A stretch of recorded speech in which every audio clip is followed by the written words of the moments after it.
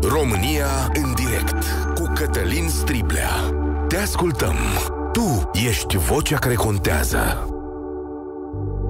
Bun găsit, bine ați venit la cea mai importantă dezbatere din România. Jurnalista Emilia Șercan a prezentat dovezi ale unui plagiat al ministrului educației, Sorin Câmpeanu. Este vorba despre un manual de curs la care domnul Câmpeanu a scris inițial două capitole alături de alți trei colegi. Pe măsură ce ani au trecut, domnul Câmpeanu a semnat singur toate capitolele din curs, deși acestea erau inițial ale colegilor. Domnul Câmpeanu neagă acuzațiile și spune că a respectat la virgulă toate regulile.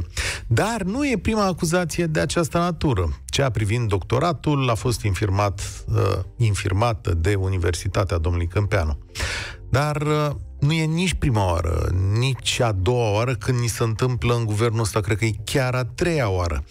Primul vizat este chiar premierul Ciucă, despre care tot Emilia Șercan a scris. Analiza lucrării a fost blocată însă în justiție, dar G4 Media a publicat date care arată că distribuirea dosarului a fost falsificată, astfel încât cazul premierului să ajungă la o instanță care l-a blocat. Parchetul anchetează acum distribuirea dosarului. Toate lucrurile astea și altele se întâmplă mandatul președintelui Iohannis, cel care spunea în 2019 că niciun plagiator nu are ce căuta în politică. Iar dacă în vremea lui Dragnea domnul Iohannis s-a dovedit a fi un apărător al democrației, astăzi, prieteni, suntem în situația în care ne întrebăm ce vrea de fapt președintele de la statul de drept de la noi. Mai este el garantul acestuia și nu cumva democrația noastră a tot scăzut în ultimele luni? Câteva date. Țineți minte legile siguranței naționale? Cele pe care presa ni le-a arătat în premieră, G4 Media ni le-a arătat. Rețineți modul în care serviciile deveneau stat în stat, iar președintele doar i-a amenințat pe cel care a dat documentele în presă? Astăzi legile justiției sunt în Parlament și acolo coaliția domnului Iohannis mai reduce din puterile DNA, se joacă cu vechimea procurorilor și face un sij mai puternic. Și nu e tot. În aceste luni am avut parte de o amenințare și o încercare de compromitere a jurnalistei Emilia Șercan prin intermediul unei rețele chiar din poliția română. Și iar lipsă de atitudine și, de ce nu, să punem aici și o cumpărătură suspectă de mașini BMW de către poliție de la un apropiat al președintelui. Și remarcați, desigur, voi tăcerea din jurul acestor fapte, căci acest an a reprezentat apogeul plăților de bani de la buget către trusturile mari de presă. Nu cumva mimăm democrația pe mai multe paliere? Sigur că există și argumentul nevoii de unitate și al funcționării statului în fața unui război, dar nu e cam mult câtă democrație poți să tai ca să te aperi. Eu cred că e un moment critic pentru noi și pentru statul de drept. Și încă nu m-am lămurit dacă e vorba de un președinte slab sau de unul care lucrează în tăcere și din umbră. Dar văd o coaliție care subminează câștiguri certe ale societății noastre. Vă chem să mă contraziceți dacă vreți, sau dacă nu, să întăriți ce le spun eu. Ce spun eu. 0372069599 Ce așteptați de la președintele Iohannis în cazul domnului Câmpeanu? Ce ar trebui să răspundă societatea la aceste noi acuzații de plagiat? Da? Ce să facem în situația asta? Care ar trebui să fie atitudinea noastră? Sau poate nu mai contează, o să spuneți. Poate chiar așa nu mai contează. Și aș vrea să faceți o analiză. Cum apreciați, domnule și doamnelor, funcționarea statului de drept în ultimele luni în România. 0372069599 Această emisiune este și pe Facebook, vă aștept și acolo și acum pornim la telefon. Primul care a sunat este Călin. Salutare! Alo? Salutare, Călin! Bună ziua! Călin Bogdan și așteptările sunt foarte mici, pentru că însăși președintele are o problemă foarte mare. Ce deci nu poți să cer cuiva să-și dea demisia când tu ca președinte nu ai putut justifica cele șapte case și soția a fost acuzată, clar. Asta în primul rând. Acum. Și justiția este după bunul plac. Când ne place, urlăm cu justiția dreaptă, când nu ne place, tăcem și facem pe ascuns legile cum vrem. Mm. Vă aduceți amintea cu jumătate de an sau un an când a zis care e cea mai mare realizare a dumneavoastră, domnule președinte, am îndepărtat PSD-ul de la putere. Domnule, o fi și asta o realizare. Depinde din ce punct de vedere privești. Da, dacă te referi la PSD-ul toxic al lui Dragnea, care ducea statul Eu nu fac românesc... parte din niciun partid politic, nici nu vreau să fac parte. Nu e vorba Dar- despre asta, dar dacă era vorba de acel PSD, e și asta o realizare. PSD, sub Dragnea, făcuse lucruri îngrozitoare democrației din România.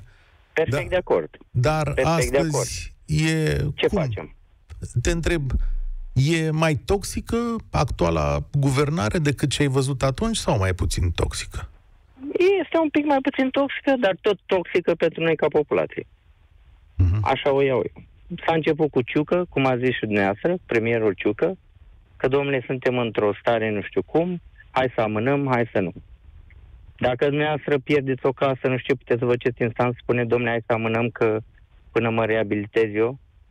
Nu cred. Da.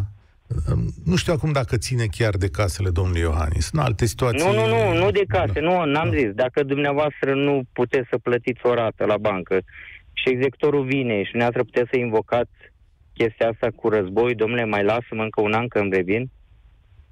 Da. Mulțumesc tare mult de mesajul tău, Călin. Cristian Filculescu spune pe Facebook Războiul lui Putin cu Uniunea Europeană se duce nu pe câmpul de luptă, ci în cancelariile și guvernele ușor coruptibile din Europa. Cred că asta e cea mai periculoasă ofensivă de care nu te poți feri. Bună observație. 0372069599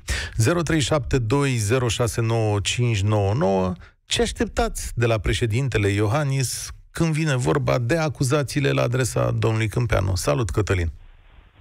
Salut, salut Cătălin, salut uh, Europa FM. Uh, În primul rând, aș vrea să spun că eu astăzi am ales să-mi petrec uh, dimineața altă și să-mi dau cafeaua în fața Ministerului pe strada General Berlot din sectorul 1 și am întâlnit acolo alți cetățeni ca și mine, tot la cafea și ei și împreună i-am cerut demisia ministrului de urgență și cred probabil vom face asta și mâine și poi mâine și asta din cauza anchetelor jurnalistice din ultima perioadă și din ultimii ani care mă rog, releva adevărata România educată a președintelui Claus Iohannis.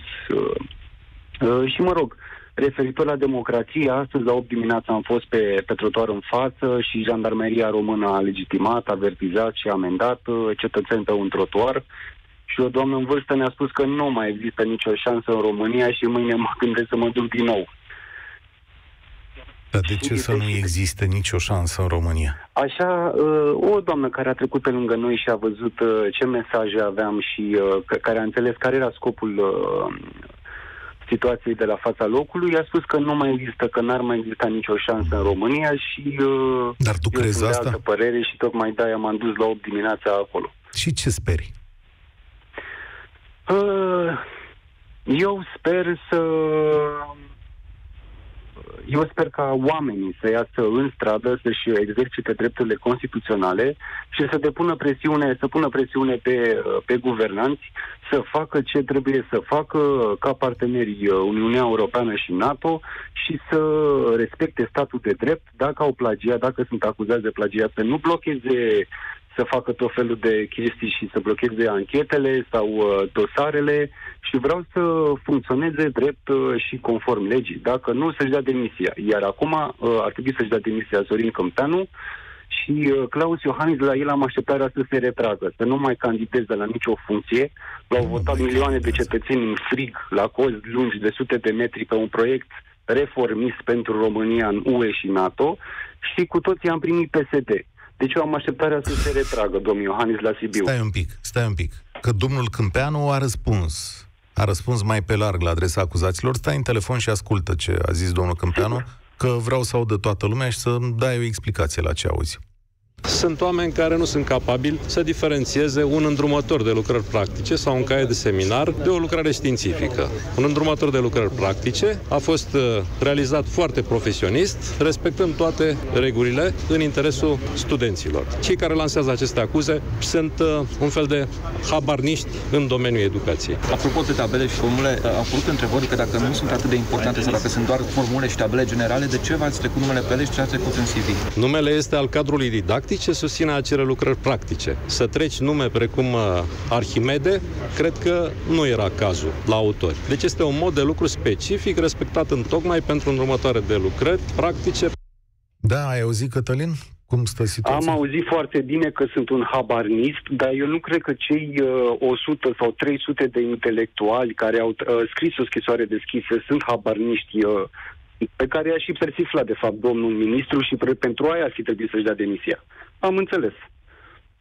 Cristian Preda spune așa, profesorul Cristian Preda, peste câteva zile, pe 3 octombrie, începe noul an guver- universitar. Voi intra în grevă japoneză. Le voi explica studenților la debutul fiecărui curs că este inacceptabil să avem un ministru care a plagiat și îi apără pe plagiatori. Corect, corect. Coloană vertebrală, foarte bine. Un personaj, un cetățean cu obligații și drepturi care ia o poziție publică. Un om uni- universitar. Deci în situația asta am ajuns. Ce că am ieșit eu la 8 dimineața să îmi dau cafeaua în fața ministerului și m-a avertizat jandarmeria. Uitați un universitar care ia poziție și face grevă japoneză. Tot respectul. România în direct.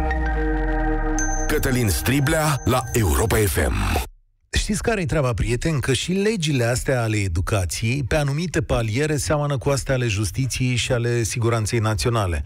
Adică acolo se mermelesc niște lucruri care nu lasă democrația și statul de drept din România să trăiască cel mai bine, să prospere. Și aici, dacă legile trec în această formă, cine a comis plagiate înainte de 2009 e tehnic amnistiat, adică pe dreptatea se face de la 2009 încoace, să știți. Plus că se desfințează și se reînființează cu mai puțină putere o structură care verifica plagiatele astea. Și atunci te întrebi, mă, da, cum e țara asta construită? Și la ce veghează domnul președinte Iohannis? Cred că a mai prins un Cătălin la telefon, așa e? Nu. Mă înșel eu e Simona pe linia 1. Salutare! Uh, Bună ziua, Cătălin. Din păcate, eu nu cred că acest prim-ministru, acest ministru al nostru al învățământului are conștiință. În primul rând, nu pot să fie acolo și să plagiez. Eu în clipa următoare mi-aș fi dat demisia. Aș fi vrut ca cineva să coboare de acolo, de pe pedestal, de unde este, și să vină un pic la fața locului. Și atunci să ne întrebăm de ce sistemul de învățământ este cum este, de ce avem copii în clasa 4 care nu știu să scrie numele, care nu știu să scrie cuvântul mama, dar i-am trecut pe fiecare în fiecare an, ce dinaintea mea, motivând că trebuie să mai avem posturi. Din păcate, acești oameni nu au ce să caute în sistem. Eu aș vrea ca toți colegii mei, de la cel mai mic uh, gr- grupă de grădiniță și până acum a zis domnul Preda, universitarii, să nu, ieși, să nu ne ținem orele o săptămână. Adică, da, probabil că nu este ok pentru elevi, dar ceva trebuie făcut. Trebuie tras un semnal de alarmă. Mie îmi este rușine, sincer, că lucrez în învățământ. La cum merg lucrurile în învățământ. Îmi este rușine. Și fac asta cu drag și aș face asta 10 vieți dacă avea. Dar îmi este deja rușine. Deci eu nu pot să concep ce se întâmplă. Adică ție Da, rușine atât am vrut că să zic. ministrul i-a acuzat de plagiat sau ție rușine de Nu, cum îmi sunt? este rușine că sunt condusă de un astfel de om. Deci eu nu pot să zic că cineva mă conduce pe mine când el a făcut lucrul ăsta. Deci îmi este rușine să spun că fac parte din sistemul educațional românesc. Și de la Dar domn continuăm profesor Iohannis, ce așteptați astăzi? Dar de la domnul Iohannis nu vreau să lăsați, eu nu am așteptat niciodată nimic pentru că nu are ce să-mi ofere acest domn. E, n-are cum să ofere. Uite, Nu, cum sincer. astăzi a zis coaliției că legile justiției trebuie să aibă orientarea europeană sau cerută de instituțiile europene, la fel astăzi poate să zică despre cei doi oameni acuzați de plagiat din fruntea guvernului. Despre domnul Ciucă și despre domnul Câmpeanu. Poate să zică, nu? Ăsta e instrumentul președintelui. Câți alții au fost în situația plagiatului? Câți au plătit până la urmă? Ca să o luăm așa, câți au plătit? Sau câți din cei de la conducerea Ministerului plătesc pentru ceea ce este elevul în ziua de astăzi? Și unde ajunge? Deci pe mine mă îngodește ideea că unii dintre elevii mei, îmi pare rău să o spun, vor ajunge peste, cât, peste 5-6 ani să voteze pentru niște făină și pentru altceva. Și ei nu știu, adică nu se poate. Deci sunt foarte revoltată. Ce am găsit din nou, adică un uh, vara am plecat din, uh, am zis, vine vacanța, vai, o să fie ceva frumos, poate să mai schimbă cea pe țară. Nu, am venit din nou la școală și din păcate, mi se pare că suntem, știți cum, ca un avion din ăla care este în picaj și din când în când, vai, să ne mai redresăm un pic și iarăși merge. Deci nu se face nimic pentru sistemul de învățământ. Și eu consider că acolo trebuie să fie alți oameni. Adică nu un om care acum are o viziune, peste trei zile alte altceva, și să vii tu să-mi spui că uh, oamenii care l-au criticat nu au habar de ceea ce au spus, este foarte grav. Deci măcar să-și fi plecat capul să zică, da, este posibil să se fi întâmplat, haideți să vedem, să mă mai uit odată. Adică măcar să dea pe cotiță, să găsească o soluție. Dar când tu știi că ești vinovat și vii și te arăți în continuare și acuzi niște oameni, adică, nu știu, eu consider, eu consider că mi-am văzut prof, eu, față de învățătoarea mea, am un respect inestimabil. În fiecare an când începe școala, o pomenesc în discursul de deschidere anului școlar. Dar nu pot să cred că doar cândva au existat astfel de profesori. Nu. Deci domnul Câmpianu pentru mine este o nulitate. Există, Există și astăzi. Din păcate, da. Dar, din păcate, un astfel de domn Câmpianu aruncă asupra multora o anatemă care n-ar trebui să se arunce. E, avem breaslă, se poate protesta. Mulțumesc tare mult, Simona. Da, există breaslă profesorilor, puteți spune, puteți explica cum e. Uite, dacă ne sună vreun profesor universitar, poate să ne explice ce a zis domnul Câmpeanu acolo, cum e cu cursurile alea despre care domnul Câmpeanu zice că nu e, domnule, niciun adevăr aici. Uite, chiar să vedem cum se face. Între timp, v-am spus, avem un număr de WhatsApp, e 0728 3 3 de 2. De la Sibiu mesaj. Din păcate, gustul de zi cu zi este tare amar. Am crezut că liderul plecat de la Sibiu ne va scoate din morcir la politică. O tristă dezamăgire. Toți mint, fură, sunt duplicitari, ipocriți și își bat joc cu zâmbetul pe buze față de noi, oamenii cinstiți care am studiat. Avem o diplomă cinstită, ar trebui să le fie rușine. Adrian, salutare! Ce așteptări ai de la președinte, în primul rând? Bună ziua, bine v-am uh, regăsit. Uh, și eu sunt tot din Sibiu, nu am nicio, nici cea mai mică așteptare. Acest domn Iohannis și-a arătat uh, năravul când a dat afară USR-ul de la guvernare și a luat în brațe pe cei pe care îi spurca cu un an și ceva înainte în campanie electorală, așa că n-am nici cea mai mică așteptare. Din păcate, și ce mă îngrijorează cel mai mult este că statul român, deja de mult timp nefuncțional, este făcut tot mai tot mai nefuncțional și singura așteptare este de la Comisia de la Veneția să nu permită uh, trecerea legilor justiției, pentru că, din punctul meu de vedere, nu prea văd altă soluție. Adică e clar că avem o clică care s-a pus la masă și a zis de ce să ne mai certăm, că uite vine marele cașcaval numit PNRR cu zeci de miliarde de euro și nu ar fi prost să ne certăm, hai să ne împăcăm, da, deci Singura mea așteptare, gândindu-mă prin prisma modului cum văd lucrurile la soluții și nu este de la Comisia de la Veneția. Să știi că... Domnul Câmpianu nu are onoare, deci nu o să-și dea demisia. Domnul Iohannis tace mâlc, pentru că, așa cum am spus, este patronul unui sistem care e menit să... Și din punctul meu de vedere, pentru că modificările lui Dragnea au rămas în vigoare și, și se doresc alte modificări, lucrurile stau mai prost decât pe vremea lui, cu siguranță. E chiar mai Vedem prost, zici tu, că e mai prost de... decât pe vremea lui Dragnea? Chiar mai prost, da. Cu siguranță, dacă aceste modificări vor fi, vor trece, atunci cu siguranță chiar mai prost.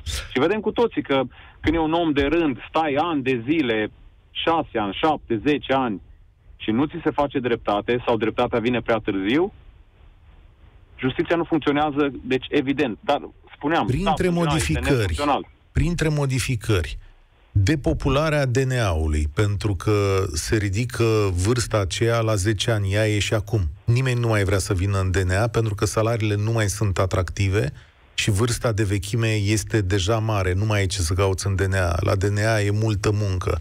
Deci să știți că între timp ce nu eram atenți și ne confruntăm cu altele, actuala clasă politică a călcat pe capul DNA-ului. Doi la mână organismul ăla de îi zice SIJ și care echipurile a fost desfințat la București o să funcționeze prin toate județele țării cu o putere sporită. Adică o să avem o corupție de aia călduță în care nu o să mai fie mai nimeni prins sau dacă e prins va fi un pește destul de mic. După cum vezi de altfel și în ultima vreme.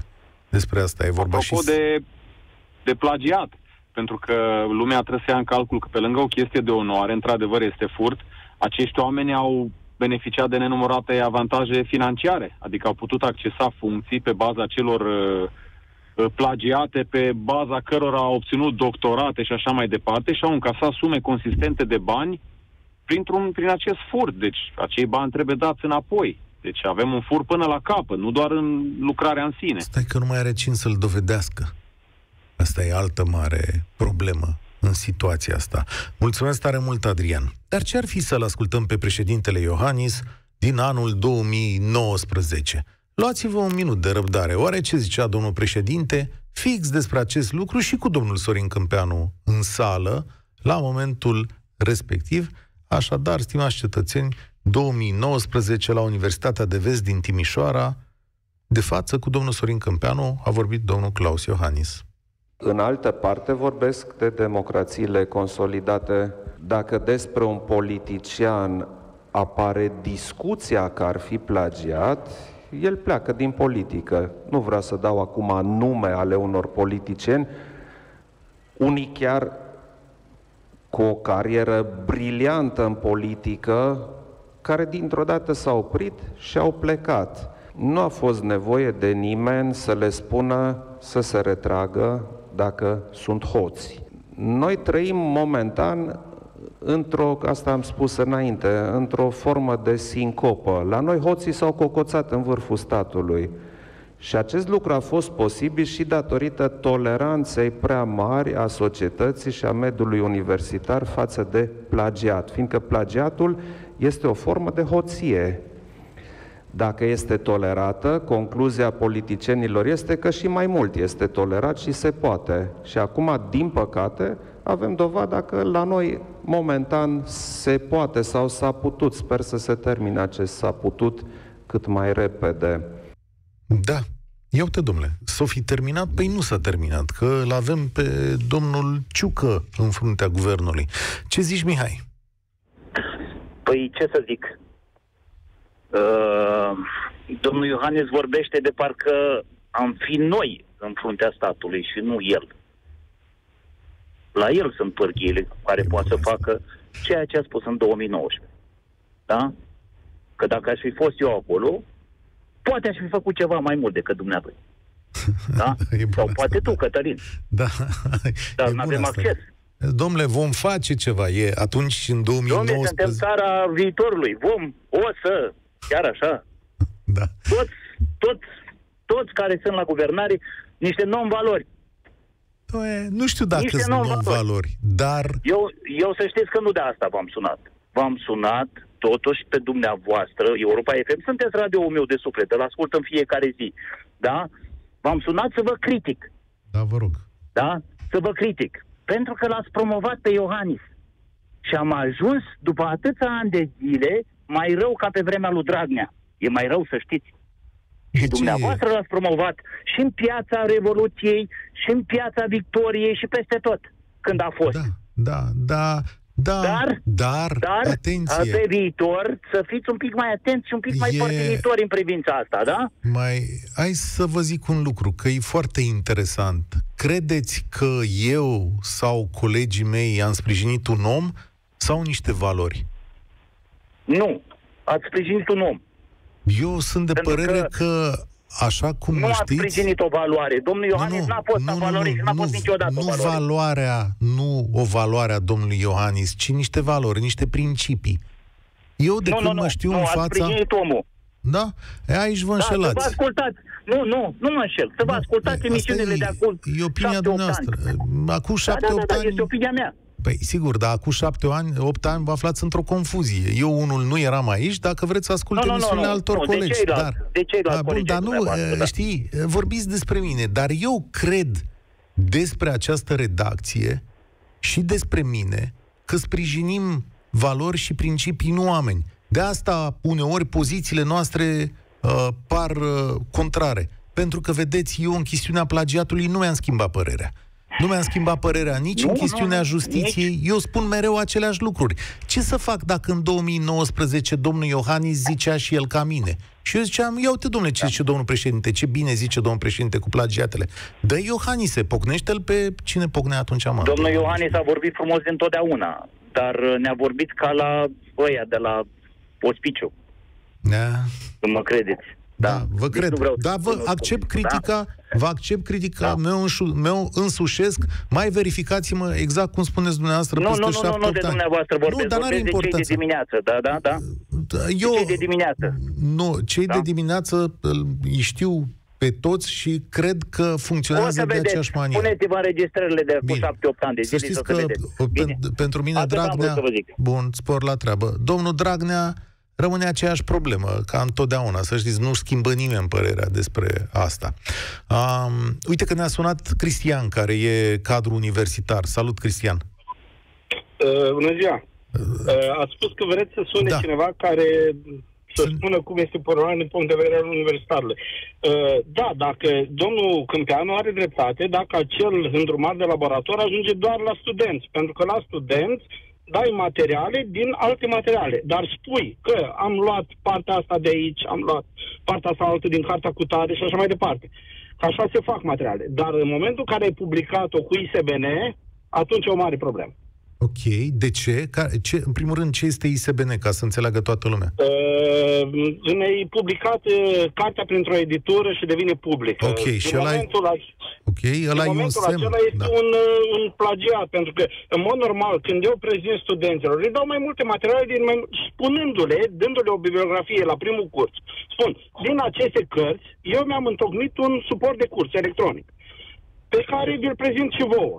M-am bazat pe aceste materiale. Dar nu, nu sunt ale mele, nu mi le șosesc ca și cum eu le-am scris. Eu le-am descoperit, eu le-am făcut. Uh, evident că spun și partea mea. Dacă am undeva contribuție personală, evident că o specific. Uh, în momentul în care uh, cartea respectivă eu mi-o asum ca fiind a mea, mă pun acolo ca autor și public cartea, am o problemă, pentru că în momentul acela eu mi-asum toate ca fiind ale mele, nu știu, sau se facă sub formă de manual, dar scris, citat, în paranteze pătrate, frază, nu fraza asta, conceptul acesta, că Cristi. nu fraza neapărat să copie. Așa cum ai Să copiezi văzut o tu frază. cazul acesta, adică de la ce a scris Emilia Șercan până la răspunsul domnului ministru, ce impresie ți-ai făcut? Întreb de impresie pentru că e clar că nu ai toate documentele în față.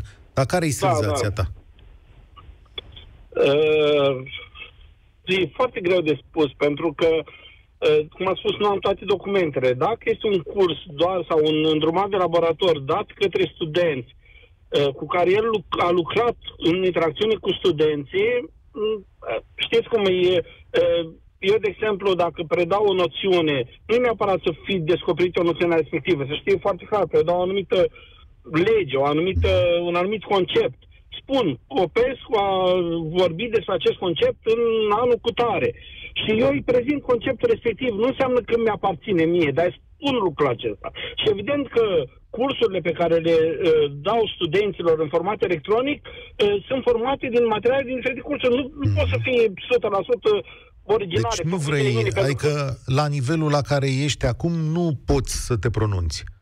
Nu, nu pot să mă pronunț. Ok. Da. Depinde cum trebuie, a trebui văzut uh, cartea, nu știu, uh, știți? A trebui văzut ce, ce este acolo, pentru că așa este foarte greu să, să spui. Dacă, dacă și-a asumat, dacă el a făcut o afirmație pe care n-a pus-o între, uh, n-a citat-o, să spunem, un, chiar un concept, v-am spus eu, nu ține neapărat plagiat, nu înseamnă neapărat uh, uh, că a copiat uh, o frază sau uh, un paragraf de la A la Z cu punct și virgulă, ci pur și simplu că uh, și asumă un concept pe care nu l-a, nu l-a mm, nu l-a, prezent, nu l-a făcut el. Mulțumesc Pur și simplu tare l-a mult. preluat la cineva. Mulțumesc tare mult pentru explicațiile tale, sunt importante. Cea mai mare dezbatere publică din România. În direct la Europa FM cu Cătălin Striblea. Marea realizare a președintelui Iohannis, ne spune cineva pe WhatsApp, este România plagiată. Ah, da, e ceva care vine de câțiva ani încoace. Domnul Iohannis i-a pus frână doar când era la ceilalți. Îl mai avem pe Andrei? Nu, din păcate nu. Adrian, salut, bine ai venit la România în direct. Uh, bine v-am găsit. Uh, Cătălin, mie mi se pare că uh, nu există cazul Câmpeanu. Mie mi se pare că nu mai există niciun caz de plagiat în țara asta până când nu se lămurește cazul domnului Ciucă. Eu aș fi curios, doamna Emilia Șercan, ce părere are despre rezolvarea acestui caz?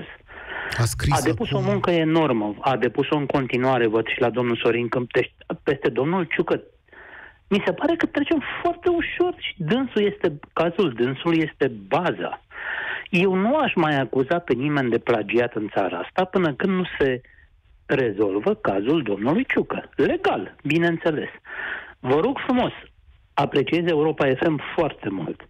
Poate că este cazul să ne mai explicați odată ce se întâmplă cu domnul Ciucă. Încă o dată, pentru cine nu știe, nu s-a rezolvat. Pentru cine nu știe, Emilia Șercan a publicat datele în presoană, a arătat, uitați, aici e posibilitatea unui plagiat. După care, lucrarea respectivă a fost luată de către domn procurori să vadă care e situația acolo, după care o decizie a unei instanțe a blocat analiza acestei lucrări și jurnaliștii au descoperit că dosarul a fost dus în instanță, nu în mod aleatoriu, ci printr-un fals. Se numește metoda Coperta. E, după ce au apărut aceste date, care au arătat că dosarul nu a fost distribuit așa cum trebuie, ci la anumiți judecători aleși cu mâna, s-au sesizat procurori de la parchetul general care anchetează cum s-a distribuit acel dosar, de ce a fost dată decizia respectivă sau cum s-a ajuns la judecătorii respectivi,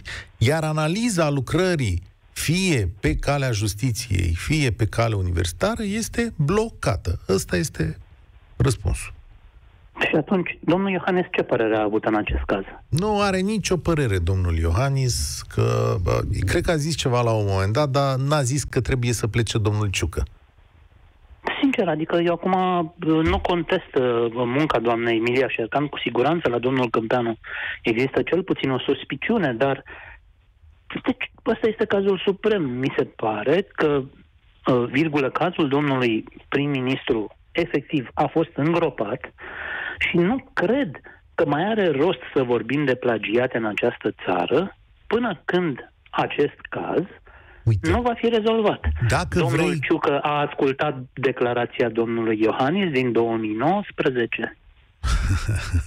da, bună, dragă. Cred, dacă n-a ascultat-o, aude acum. Uite, am găsit răspunsul domnului Iohannis. Președintele României consideră corectă și necesară decizia premierului Nicolae Ciucă de a solicita analizarea tezei sale de doctorat de către Comisia de Etică a UNAP, orice demers menit să clarifice suspiciunile formulate în spațiul public, fiind binevenit. Iaca. Și de atunci dosarul e blocat în justiție și asta s-a, cu asta s-a terminat, da? Și așa va rămâne. V- da, nu, nu va rămâne așa. Preț... Uite, fii atent, Adrian, facem aici un pariu, dacă vrei, ne, ne sunăm în ziua respectivă, ne sun din nou. Dosarul de plagiat sau plagiatul domnului Ciucă va funcționa, va ieși la iveală, va fi analizat, zi cum vrei, să va închide toată povestea asta cu câteva săptămâni înainte ca domnul Ciucă să nu mai fie premier, că știi că se schimbă premierul aici, sau la câteva săptămâni după. După asta, exact în preajma aia, în preajma acelor zile, o să vezi că dosarul ăsta se rezolvă, domnule, și o să aflăm că domnul Ciucă a fost, foarte probabil, sau mai puțin probabil, n-a fost plagiator. Cu siguranță așa se va întâmpla. Iac. Dar atunci unde este moralitatea? Ah, Asta. Nu mai judecăm noi alți plagiatori, presupuși Unde este plagiatori. moralitate? Nici nu mă aștept la o mare moralitate din partea politicienilor. Spune-mi unde este democrația și statul de drept astăzi. Cine l apără? Nimeni. Absolut nimeni. Nici măcar nu, acest noi. subiect nu mai este interesant. A, tocmai de aia îl fac la radio, poate... Pă, foarte bine faceți, Poate vă apreciez foarte interesant. mult și uh, să știți că sunt și eu puțin de părerea ascultătorului dinainte l-ați lăudat prea mult pe Iohannis atunci când a fost cazul. Nu dumneavoastră, știu că Da. nu erați. Nu, nu, nu, Poate le-ai fi nici lăudat și eu, redacția nu stați era. puțin. Poate nici șefa redacției nu, Nu era. suntem- Cred că nici patronul nu mai e același. Ah. Dar lumea, lumea, lumea a rămas în cap chestia asta. Dom'le, stai, zi- da, e, e foarte interesant. Și redacția și patronatul sunt aceleași din ultimii ani. Nu asta, Nu asta e problema. Problema este că știți cum vorbim acum ca la Partidul Comunist. Știți că Partidul Comunist la un moment dat făcea la stânga, e o butadă veche. Știi? Și ăștia tovarăși din partid care continuau să meargă înainte erau considerați deviaționiști. Așa și redacția asta continuă să creadă în aceleași valori. Ce să fac eu dacă în momentul ăsta domnul Iohannis s-a îndepărtat de valorile alea? La un moment dat a fost pe linie cu noi. Ce, ce să-i zic? În, uh, că în momentul în care îl critici încă ceva, în momentul în care îl critici pe Dragnea sau pe Ponta sau modul în care au mers lucrurile în România în perioada respectivă, da, unii oameni pot să zică, băi, țineți cu Iohannis, dar nu cred că despre asta e vorba. Nu, uh, este vorba despre domnul Iohannis pentru că asta a fost tema emisiunii dumneavoastră da. și uh, sincer să vă spun, uh, domnul președinte Iohannis, eu nu știu pe ce linie a valorilor a fost vreodată de când e președinte, eu n-am, n-am văzut așa Bă, ceva. Mi-l aduc adică... aminte purtând, mulțumesc tare mult, mi-l aduc aminte purtând o geacă roșie într-o piață și asumându-și anumite valori ale unor oameni care erau în piață. Unde e președintele acela? Și de ce astăzi nu mai este primul care să apere valorile astea? George, salutare! Alo, bună ziua! Uh, da, din păcate, domnul președinte, cred că este cumva și singur. Și în problema plagiatorului cred că este și un pic încolțit. Cred că plagiatorii sunt plini peste tot, și în servicii, și în justiție. De acord. Parcă era domnul Bogdan Licu. Va e singur. Da, da, da, da, da. Aveți dreptate, am uitat. Pe păi dacă e să facem o listă, până mâine stăm, da. Exact. Acum, să vrea să dea o lege până pleacă de la el din birou, se oprește pe drum, că și ăla care o cară, probabil, e plagiator. Da. Din păcate. Da. da. Să nu uităm că problema a început din 2012 pe noi în țară. USL-ul. De atunci, da, când și-au dat mâna. Când FSN-ul și-a revenit la, la clică. Din păcate, PNL-ul l-am pierdut cu cine să ții piept uh, cu Alina Gorghiu? Nu avem. PNL-ul s-a pierdut, USR-ul, din păcate, a rămas o mare dezamăgire, n-au fost matur politic. Eu îmi clinam să-i judec pe USR și că au plecat de la guvernare. Nu știu ce să zic între timp, pare că sunt așa un pic dezamăgit. Cert că democrația noastră se șubrejește pe zi ce trece, din păcate. Din păcate. Mergem parcă spre, ne luăm după Victor Orban, mergem pe drumul lui. Da, varianta soft. La noi da. nu e cu presiuni ca pe vremea lui Adrian Năstase sau ca la Victor Orban. La noi e cu cumpărături, frate. românească. Da, e... o poziție organizată.